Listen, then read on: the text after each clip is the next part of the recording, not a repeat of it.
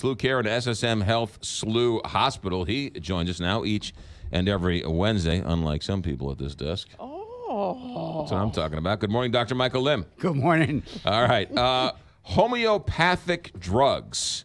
I don't exactly know what that means. What is a homeopathic drug? So, a homeopathic drug is a sort of an alternative medicine type of a, a product. Okay, so uh, like garlic and yeah, herbs and now stuff like talking. that. Okay. Now, you- so you're talking about all these supplements and all these sort of non uh, traditional therapies, Okay. home remedies uh, uh, that are still sold over the counter Right. and on the shelves. Unregulated.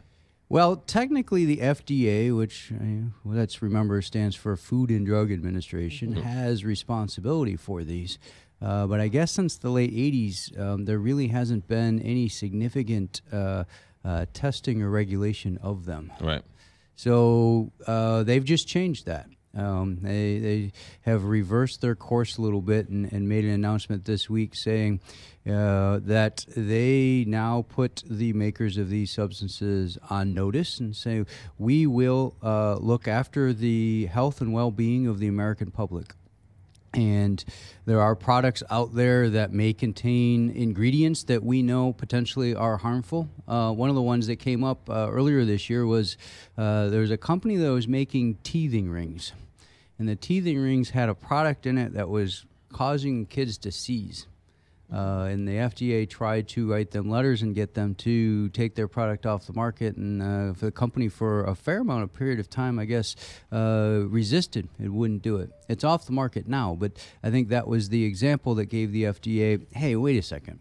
Uh, every parent is completely miserable when their kids are teething. Right. You want anything that possibly can work, and you just turn and you go to the drugstore and you see this thing. You say, "Hey, let's try this." And next thing I know, my kid is seizing. Right. Um, uh, that's not what we should be promoting in this country. Which what is makes people um, attracted to these homeopathic drugs? I think it's just kind of I, what I just said is um, they're they're most common in areas where there's not really great treatments to start with. Um, so where you see them most, common cold. There's no great Right. treatment for the common cold. Right. So this is what. Uh, so like, uh, there's a lot of zinc-containing products out there, and there's a lot of cold remedies out there. Uh, baby and infant products, especially like teething rings, are things that just uh, completely drive parents beyond the edge of insanity, um, which doesn't take that much Right. uh, uh, when your kids are, are not feeling well. And then things that don't really have good cures or bad conditions, cancers, heart disease, uh, things like that.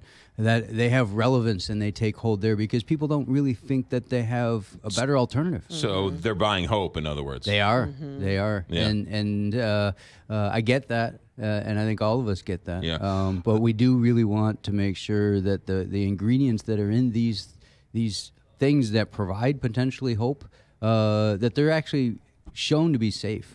Seems to me, though, there's a difference between a teething ring that causes some chemical in the teething ring to cause the child's seizures versus a sugar pill that will, you know, regrow your hair. Right? I mean, isn't right? I mean, or or is it one's harmful, one's just, you know, snake oil.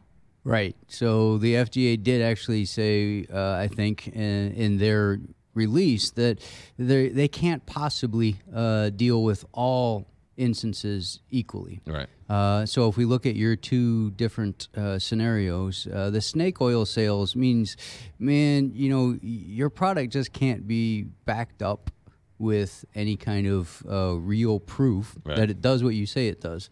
Uh, the FDA is not really going to get after that too much. Uh, the FDA is really going to focus on, I think, what their main job is, and that is to protect the public. Yeah. Uh, so they're focused on safety. And uh, they've also gone into concepts with respect to they're, they're also working on um, high risk products, especially alternative uh, ways to take medications. So instead of pills, um, so eye drops and, and things like teething rings and injections, that kind of stuff, they'll look at more closely. Uh, anything that contains ingredients that uh, are on a watch list that they have, uh, they'll go after more closely. And anything that's homeopathic that does not include the ingredients on their labeling. Uh, they will look after uh, as as far as what their release said this week. Dr. Michael Lim, cardiologist with SLU Care and SSM Health, SLU Hospital. Merry Christmas. Merry